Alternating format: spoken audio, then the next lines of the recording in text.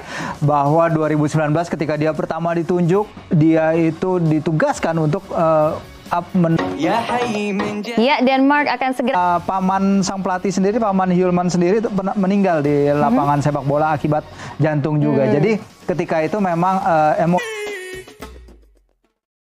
Iya pemirsa, terima kasih Anda masih setia menyaksikan program dan juga Yusuf Taknin ya. ini juga cukup familiar sebetulnya dengan Qatar sendiri ya Jerry ya.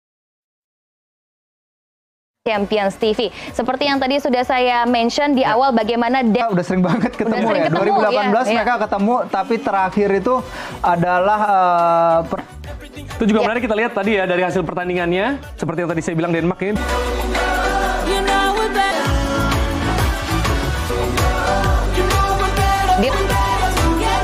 Kan ya. kita tahu dia offside dan juga ada penyelamatan yang gemilang dari kasus.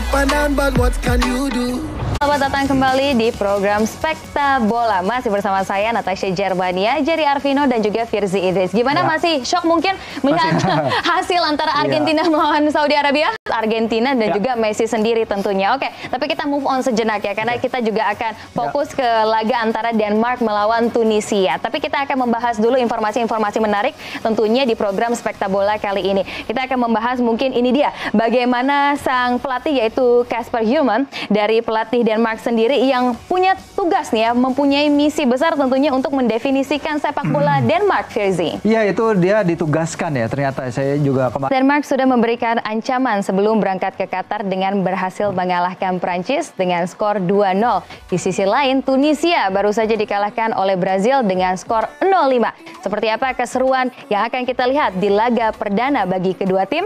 Halo pemirsa, welcome back to FIFA World Cup Qatar 2022 bersama saya Natasha Germania yang tentunya masih ditemani oleh Jerry Arvino dan juga Firzi Idris. Bagaimana jadwal pertandingan hari ya, ini untuk ya. pemirsa semuanya akan sang juara bertahan yaitu Prancis dengan skor 2-0 di UEFA Nation League. Apakah ini merupakan sebuah ancaman? Apalagi kalau kita lihat bagaimana Denmark ini satu grup nih dengan Prancis ya Jerry? Iya sebenarnya. Inilah dia pertandingan-pertandingan laga antara Denmark melawan Tunisia nyaris meraih poin sempurna di babak kualifikasi dengan catatan 9 kali menang